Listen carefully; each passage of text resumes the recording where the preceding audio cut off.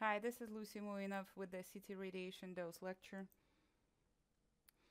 This is the study guide from the core examination describing some of the topics that uh, might show up on your physics exam. We will touch base on several of them today. CT is the major contributor to population dose from medical imaging and we all need to be aware and remember in our daily practice this important concept of ALARA, or as low as reasonably achievable. Hmm. CT dose is the amount of energy deposited per unit mass. There are multiple factors that will affect the CT dose, such as tube current, tube voltage, pitch, collimation. Uh, we will also discuss some X-ray tube current modulation strategies. We will talk about how size and weight of the patient can also affect the CT dose, and we will discuss the noise reduction strategies. So we'll start with tube current or MA or MAS. MA is measured in milliamperes. It's the number of X-ray produced, and it has a direct linear relationship with the radiation dose. MAS is milliampere second, it's MA times scan time. It affects image noise. So if we decrease MAS, we will decrease the dose and increase the noise. These are images from RSNA physics module on CT dose.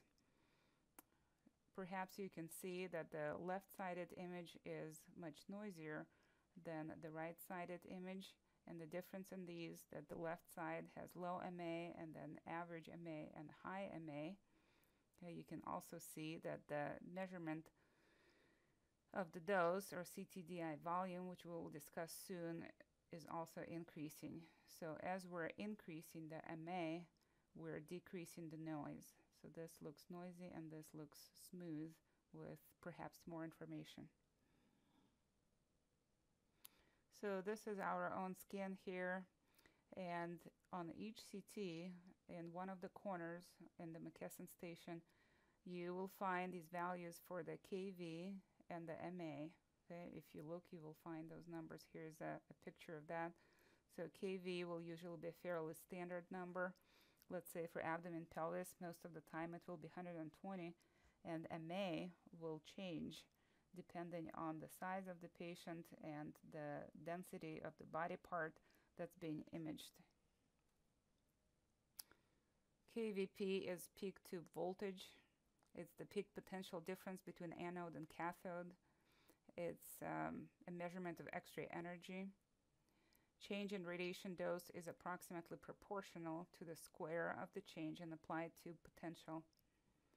When we decrease KVP, we improve subject contrast. So if we decrease the KVP, we will de decrease X-ray energy, decrease penetration, and therefore decrease the dose.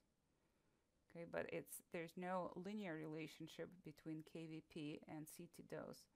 So CT dose is about proportional to KVP squared. A smaller change in tube potential leads to a larger decrease in radiation dose by about 35 to 40 percent. With a decrease in tube potential, image noise increases, as does image contrast, particularly between water and positive contrast medium. So when we scan with CT, these numbers, the KVP will be fairly constant. For example, if you were to look on each scan of the head, shoulders, or pelvis, uh, those body parts have bone and therefore they will need higher KVP to penetrate those dense structures. So therefore the KVP will be 120 to 140. Our routine body scan abdomen pelvis will be 120 KVP and smaller or thin adults or children might have lower yet KVP of 80 to 100. So there are two fundamental uh, dose units.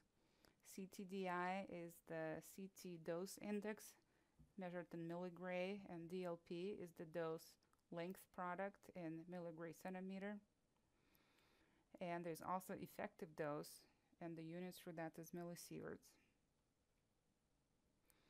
So let's talk about the CTDI or CT dose index. So there are several of these CTDI there's a weighted, there's volume. We'll start with the volume. It's uh, measured from one axial CT scan, one rotation of the X-ray tube. It's the amount of radiation delivered to one slice of the body over a CT scan. Okay, it's unique for each scanner and brand. It's so to speak fixed and predetermined by ma manufacturer, independent of patient size and length, and this will be the main difference between the CTDI uh, measurement and the DLP dose length product, which will um, factor patient's length. Okay. CTDI is not used for individual patient dose estimate. ACR uses CTDI vol or volume for CT accreditation. It's proportional to absorbed dose. The units are milligray, as we mentioned. And it's determined by acrylic phantoms. There's 16 centimeter, 32 centimeter phantom, and 10 centimeter pencil ionization chamber. So CTDI vol or volume accounts for any gaps or overlaps between the X-ray beams from consecutive rotations of the X-ray source. It represents a dose for a specific scan protocol. And um, the formula for CTDI volume is CTDI W, which is weighted. We will talk about it here in a moment, over pitch. So CTDI W or weighted varies across the field of view and it will factor the dose at the periphery of the body and the dose at the center of the body. As you may know already, the dose at the periphery or at the skin will be larger than at the center of the body, um, but CTDI, remember, is measured by phantoms. Okay, so CTDI-W, or weighted, is two-thirds of the CTDI periphery plus one-third CTDI of the center. Okay. And here's again that formula for the CTDI volume, which is this, CTDI W over pitch. And we'll talk about pitch here soon. So these phantoms that are used for QA by our CT techs and physicists, um, they're made out of PMMA or polymethyl methacrylate.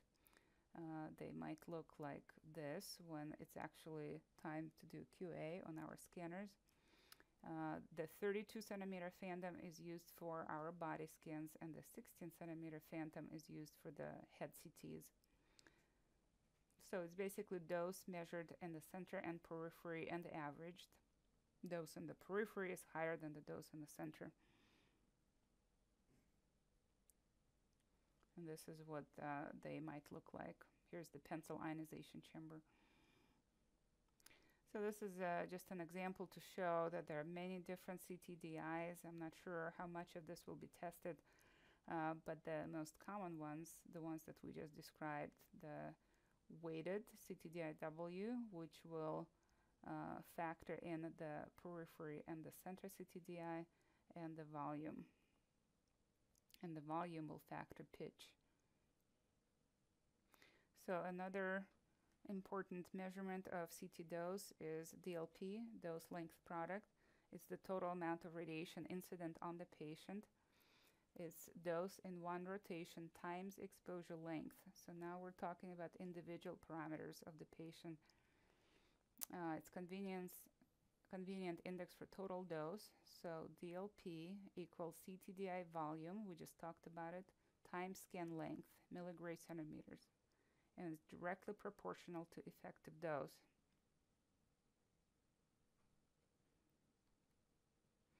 So this chart uh, demonstrates how the scan length will change the DLP, but it will not change the CTDI.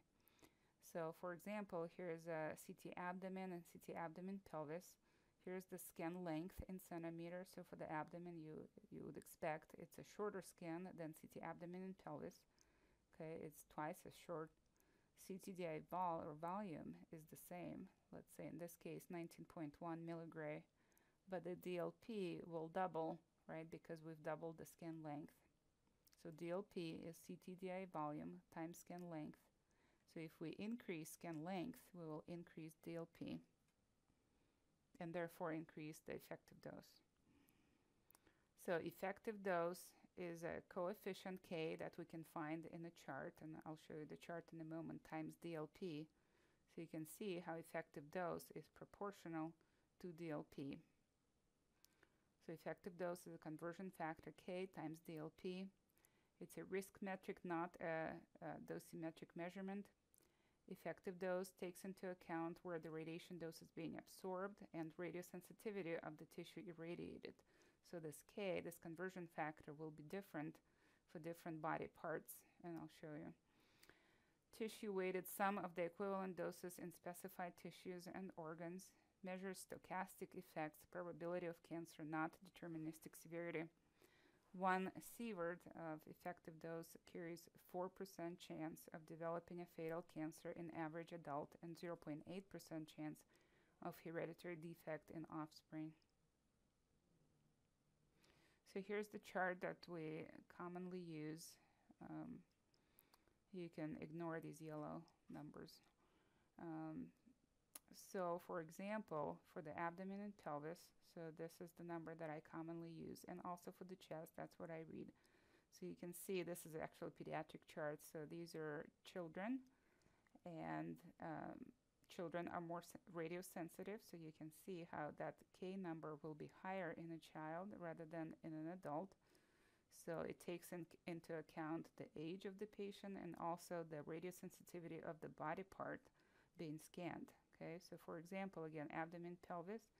Here is a, a baby, a child, and an adult. So that K coefficient will always be a constant 0.015 for any abdomen pelvis CT that I scan, and for the chest, it will always be 0.014. It's a constant. It doesn't change patient to patient, scanner to scanner. And these, this is a chart showing typical effective doses. This is something that's commonly reported by the ACR. You can Google it. This is what patients will see commonly on the internet when they try to estimate how much radiation they will be exposed to during ACT. Now, some of these are outdated numbers obtained on older machines. So you can see this is uh, from January 2008. Um, our scanners, or many of our scanners, are newer and safer, and therefore some of these numbers may not be accurate for each particular um, practice. Okay, but these are just general numbers commonly reported.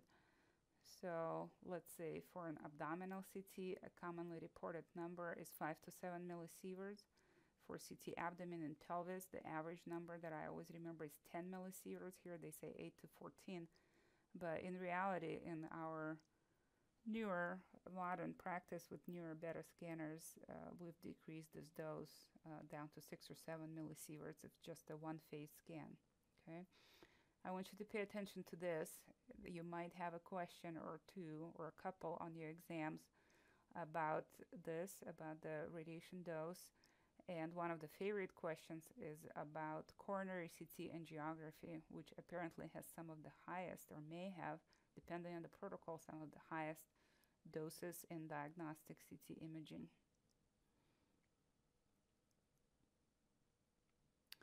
Here's another chart, estimated effective doses for diagnostic medical exposures associated with background equivalent radiation and lifetime fatal cancer risks. Okay, this is just something that um, you want to, to look at. So as I mentioned, our doses will typically be lower than what's commonly reported on the internet. For example, screening low dose chest CT is a very low dose, 1 to 2 millisieverts. Our regular chest CT is about 4 millisieverts. Abdomen pelvis CT 6 to 7 millisieverts. Head CT dose did not significantly decrease between old scanners and new scanners uh, because uh, neuroradiologists may not use the same uh, algorithms or dose modulation algorithms as we would do in chest and body imaging. So moving on to pitch and CT dose. Pitch is the relationship between patient and tube motion. It's table feed per gantry rotation in millimeters uh, per rotation um, to total X-ray beam widths. So pitch is table feed over beam width, abbreviated I over W. I is the table feed and W is the beam width. So if we increase pitch, we will decrease the dose and decrease scan time. CT dose is inversely proportional to pitch. Here's an example. So we go pitch 1 to perhaps wider right? Wider slicing, pitch 2. So if we go from 1 to 2, we will half the dose. And vice versa, pitch of 0.5, we will increase the dose by a factor of 2. Here's another example from the RSNA modules where we're increasing the pitch. We go from here to here, increasing this P, okay? So you can see if we increase the pitch, we will decrease the dose. CTDI will be decreasing. So there are um, other dose modulation strategies. MA modulation is the modulation of tube current, or MA, when scanning different body parts. MA is adapted to body parts, not patient weight. Thinner parts need less radiation. And AEC is automatic exposure control. So for example, when the technologist is planning a scan, this is a scout image of the chest, a lateral scout, then the machine will determine with the automatic, automatic exposure control that there's lots of bone here over the shoulders, right? Shoulders, clavicles, scapula, so it will need more MA, more x-ray, so to speak. And then here where there's air in the lung, it will go down uh, it will decrease and then again where it encounters soft tissues and solid organs it will go up again. This is called AEC or automatic exposure control. This is a real scan that I was taking pictures and noticing how that MA changes automatically from shoulders to chest to abdomen to pelvis.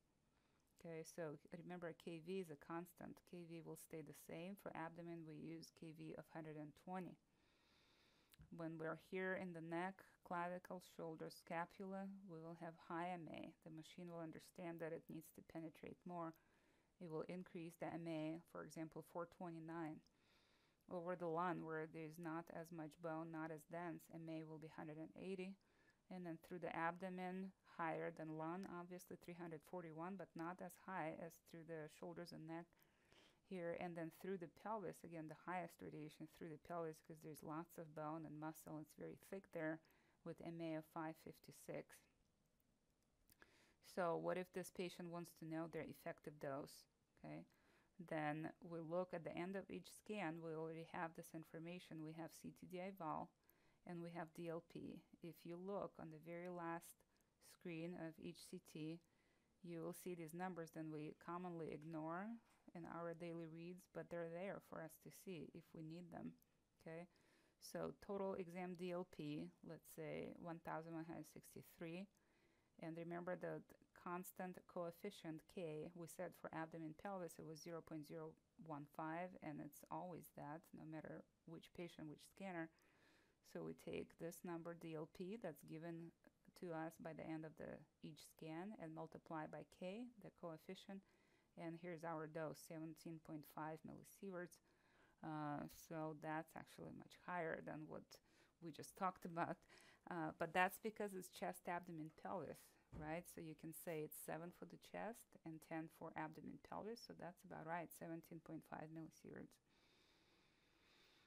for, um, for example a head CT remember we'll have the same KV for head they use higher KV 140 and they will not change during the scan no matter where they're scanning. For example, in this scan, the MA was 560 for 1.25 millimeter slice thickness. So filter is another important concept when discussing CT dose. It's attenuating material between X-ray tube and patient to absorb low energy or soft X-rays. And it decreases surface dose okay there are different shapes of these filters the filter is the physical part of the CT scanner one of the most common filter is called bow tie filter It will create more uniform X-ray field at detector. We will decrease scatter and decrease patient dose by applying or using a filter. Here's uh, just a cartoon of where the filter might be placed in the machine. So another very important concept is patient dose, right? So larger patients will require more x-ray, so to speak, to penetrate their larger volume of their body.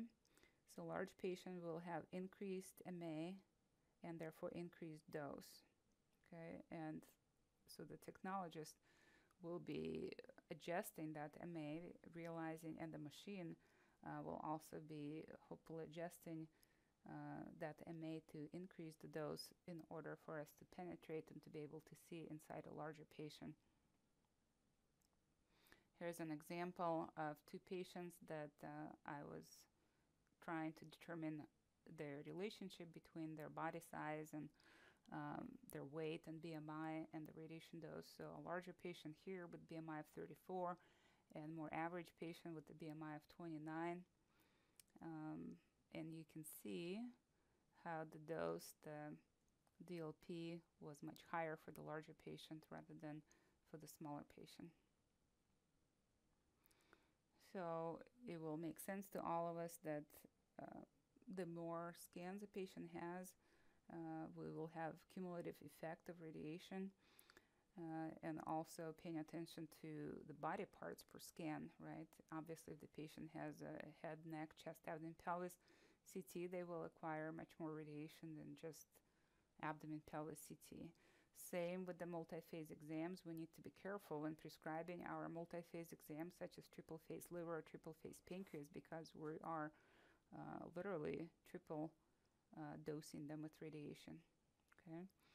Another important concept is to pay attention to how many exams the patient might have.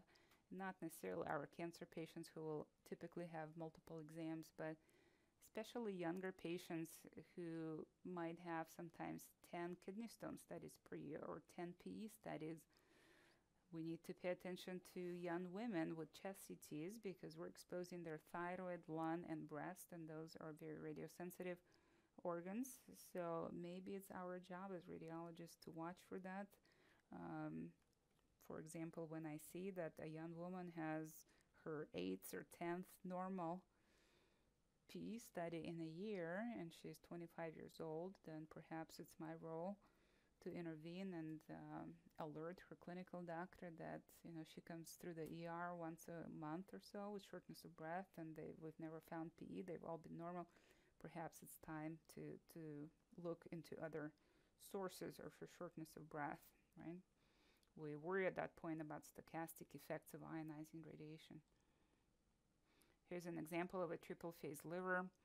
So remember, effective dose is DLP times coefficient. So in this example, this was given uh, as DLP for this exam times our constant, uh, 0.015. So triple phase, as you would imagine, a 10 times 3 is, is about 30 millisieverts. That's quite high. So there are multiple CT reconstruction algorithms, uh, new vendors, newer machines, um, will come up with different ways to try to make the machine safer and not lose the amount of information, but to decrease the dose. Uh, the older algorithms uh, were filtered back projection. The newer algorithms, there are many of them, they may involve iterative reconstruction, and each brand will have its own name. So some of our machines, the GE scanners, will have ASiR uh, adaptive statistical iterative reconstruction, and as I said, other vendors will have different names, trying again to come up with these newer, better machines with decreased dose. This was just me showing how one of our newer scanners here at Buffett, the GE Revolution with ASiR V, which is one of the dose reduction algorithms, um, we've decreased the dose where now it's 7 instead of that usual um, oh I think it was that same patient perhaps where I say old CT had 18 millisieverts and with the new scanner we've decreased it to 7 so that is a, a huge drop in the in the dose with on the new machine. I think this is just another example of demonstrating how our doses are now lower, down to 7 or so. So another way to decrease the dose, which we don't regularly practice here, is with bismuth shield. So there are physical shields that we can acquire or purchase. Uh, they're sold and on websites and Amazon and eBay and whatnot. Uh, but some practices own them and they have different bismuth shields for eyes and breasts and gonads. Here's an example of a breast bismuth shield. This is what the chest CT would look like with that covering over the breast. There might be some artifacts through the lungs associated with it, so um, many radiology practices are hesitant to use it regularly, uh, but some practices do. We have outside scans that will have that white uh, bismuth shield right on the image. Uh, here's a scan for the baby. So there are strategies to decrease breast dose because breast is very radiosensitive. Um, we can decrease the MA of the entire exam. We may increase the noise by doing so. MA modulation would decrease the dose without increasing noise. And we can think about doing bismuth shields uh, and possibly increasing noise and artifact. So here's some other thyroid shields and eye shield here. So adults versus children. Um, with children, we worry about the risk of induced carcinogenesis more so than with adults. Children in general are more radiosensitive, eh, are at two to three times increased risk of radiation induced cancer than adults. Possible higher genetic susceptibility to radiation in kids with ataxia, telangiectasia, and diabetes. Regarding pregnancy, we try to avoid CT in first trimester if possible. Now, ACR allows us to scan in any trimester. Okay, we can do a chest CT if we need to. We can even do abdomen pelvis CT if we really have to.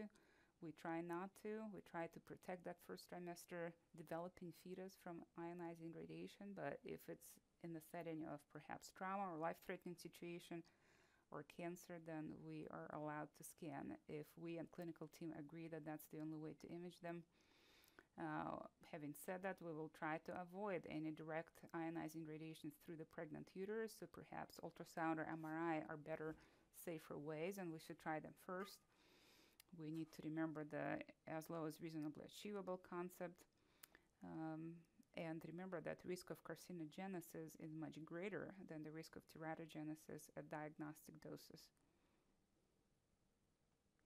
There's ACR CT dose index registry where a practice for a fee can join this registry and send in monthly, perhaps, reports of our own doses.